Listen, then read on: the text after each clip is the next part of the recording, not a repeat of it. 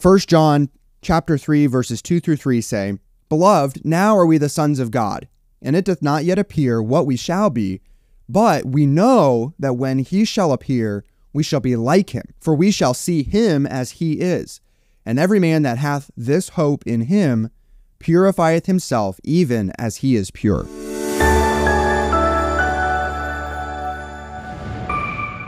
In verse 3 of 1 John chapter 3, John writes of this hope that we have in him. You know that hope is a confident expectation in something that's going to happen. It's coupled then with an eager anticipation. The word hope should conjure up in our minds really the sitting on the edge of our seat, waiting and knowing and trusting and believing that something is going to take place. And in verse 3, John says that that hope, that anticipation, and that expectation is found in the Lord Jesus Christ. Every man that hath this hope in Christ, he says. I want us today in our Walk Talks podcast give consideration to this hope. Would you notice, first of all, with me, the content of this hope. First of all, that this hope is a current hope. If you notice in verse 2, John writes to remind the reader of their present identity. Here is the current hope. And it's found in the very first phrase, Beloved, now are we the sons of God. In my Bible, I've underlined that word now. This is the here and now. This is the current reality, the current identity. We are the sons of God. For those of us who have received the love of God that we talked about yesterday, that God has bestowed on us, we are called the sons of God. This is not just a future reality, but a present position. This is the standing of every Christian today. We are now the sons of God. You know that it's true. We don't know all of what is going to come, but we can know, second of all, not just that we are called the sons of God, but that He is going to appear, that Christ is coming back. And that's implied in this second verse. It doth not yet appear what we shall be. Uh, we don't know everything in our life and in our mind, in our world, and in our body that's going to be changed. We don't know those things, but we know, verse 2 says, that when he shall appear, we can know from Scripture, we've been promised in Scripture that Christ is coming back. John 14 and verse 3 says, And if I go to prepare a place for you, I will come again Jesus said. Colossians 3 and verse 4 When Christ, who is our life, shall appear, then shall ye also appear with him in glory. The current hope that we can know and experience today is that we are the children of God and that Christ is coming. We can have that hope for the here and now and believe that what Christ said is going to take place. But there's also a coming hope. There is an anticipation and an expectation of what is going to take place in the future. And like I said, we don't know all the details of what is to come. So there's the current hope, there's the here and now, but I want you to notice, second of all, there's the coming hope. And I call that the there and later. What's going to take place in the future?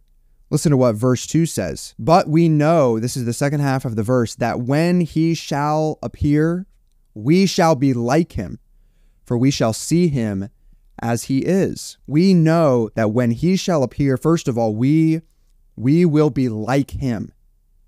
Our bodies will be changed. Our very lives will be transformed. We will be made finally and fully into the image of Jesus Christ. And the reason for that is in the very end of verse 2, we shall see him as he is. We are going to see the Lord. We are going to see him face to face. What a day, glorious day that's going to be. So think about this for just a moment. We will become like him someday because we see him as he is. There's beholding, there's seeing, and there is becoming. But may I just emphasize to you in the podcast today, by way of application, that beholding and becoming is not just a future event for the Christian. There is a way to know the Lord Jesus Christ, to behold him in the wonderful word of God, to see his ministry, to hear his words, to know how he interacted with others, to know what he taught.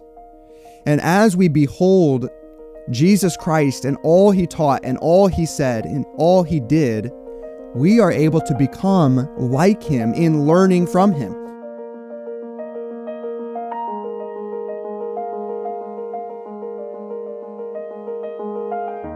2 Corinthians 3 and verse 18 says, We all with open face, beholding as in a glass the glory of the Lord. We are changed.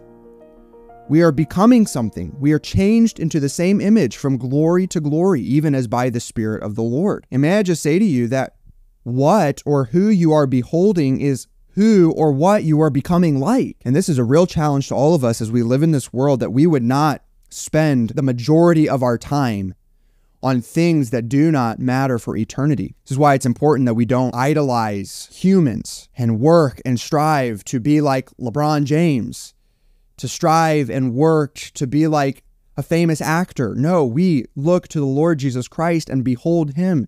And the emphasis here is that we are in his word daily. And that is the process that we are going to experience someday. This is the future hope, the coming hope that's going to take place there in heaven. And later on, down the corridors of time, we will see him and we will become like him. Put your hope in what you know to be true about that day.